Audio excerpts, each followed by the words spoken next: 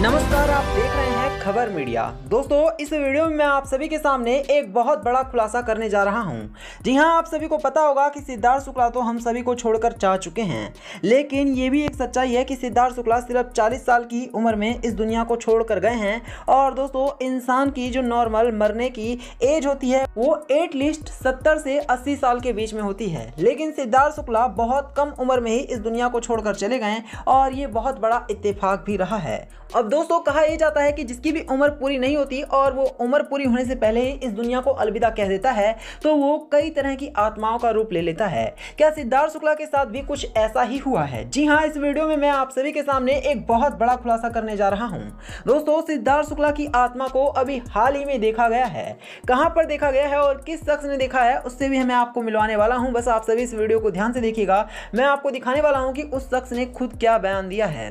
दोस्तों, सिद्धार्थ शुक्ला सिर्फ़ 40 साल की उम्र में गए और सिद्धार्थ शुक्ला की आत्मा भटक रही थी। और सिद्धार्थ शुक्ला की आत्मा से जो स्टीव हैं पैरानॉर्मल एक्सपर्ट उन्होंने बात भी की थी। तो उन्होंने बताया था कि सिद्धार्थ शुक्ला की आत्मा कैसे तरह तरह की बातें कर रही है और उन्होंने ये भी बताया था कि सिद्धार्थ शुक्ला की आत्मा ने यह तक कहा था कि वो अपने डॉग को बहुत ज़्यादा मिस कर रहे हैं। अब दोस्तों, सिद्धार्थ शुक्ला की आत्मा को इस बार पैरानॉर्मल एक्सपर्ट स्टीव ने नहीं, बल्कि किसी और ने ही देखा है। और ये सिद्धार्थ शुक्ला का एक पड़ोसी है, और वो रात को करीब 11 बजे अपने घर से बाहर निकला था। और जब वो रोड पर जैसे ही निकला तो उसने देखा कि वहाँ पर सिद्धार्थ शुक्ला के घर के पास कोई बैठा हुआ है। उसने सोचा कि शायद ये कोई और होगा, कोई इंसान है जो कि बैठा लेकिन बाद में उसे हैरानी तब हुई जब वहाँ पर बैठा हुआ शख्स थोड़े ही देर में गायब हो गया, लेकिन उसने उस शख्स की एक झलक देख ली थी और वो शख्स कोई और नहीं, बल्कि सिद्धार्थ शुक्ला की आत्मा थी, क्योंकि वो शकल बिल्कुल सेम थी। और उस शख्स ने तुरंत ही पहचान लिया, जिसके बाद उसने सभी को ये बताया कि किस तरह से सिद्धार्थ शुक्ला की आत्मा आज भी यहीं पर ही है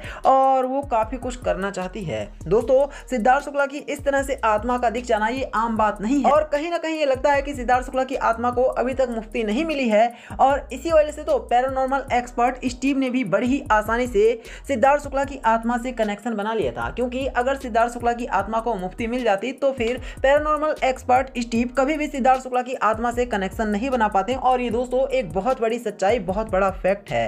उम्मीद करते हैं कि आने वाले दिनों में सिद्धार्थ शुक्ला की आत्मा को शांति मिलेगी और सिद्धार्थ शुक्ला जल्द ही कोई एक नया जन्म लेंगे जहाँ पर उनको, उनके पिछले जन्म से कहीं ज़्यादा बेहतर नया जन्म मिलेगा। दोस्तों, सिद्धार्थ शुक्ला जिस तरह से अचानक से हम सभी को छोड़कर गए हैं, ये उनके फैंस के लिए भी काफ़ी दर्दनाक रहा।